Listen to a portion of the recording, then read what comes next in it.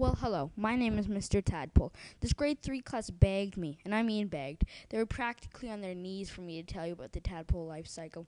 Well, here I go. There are four different stages in the tadpole life cycle. Before the life cycle even starts, this happens. A male and a female frog mate. You know they are mating because the male is hugging the female.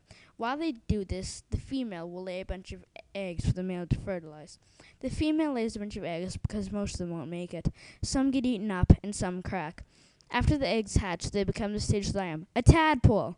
The way we breathe is we inhale oxygen in the water through gills like a fish. We swim around the water for a few weeks, then we begin to grow legs before we move to the next stage.